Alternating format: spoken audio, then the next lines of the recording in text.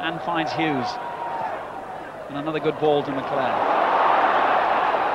Wallace in space. A lot of players forward here, Manchester United. Blackmore. A lovely goal.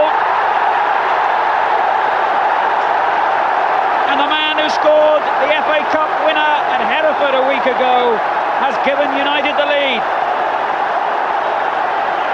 The Stretford end delighted. And although Manchester City have had so many opportunities, it's United who put theirs away. Wallace playing the ball into the danger area, and Blackmore reacted quicker than anyone. Anderson, Ward is there again. The ball laid back for Brightwell to hit it. Oh, what a great goal by Brightwell! A tremendous goal from the youngster who's only playing because Peter Reid is suspended.